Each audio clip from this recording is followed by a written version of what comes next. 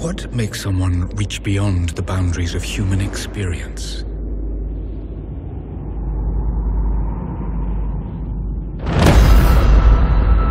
To face the unknown.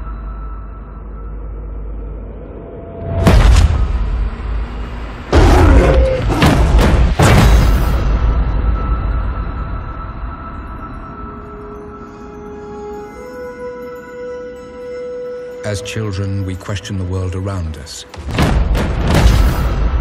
We learn. We accept. And gradually we lose our capacity for wonder. But some do not. The explorers, the seekers of truth.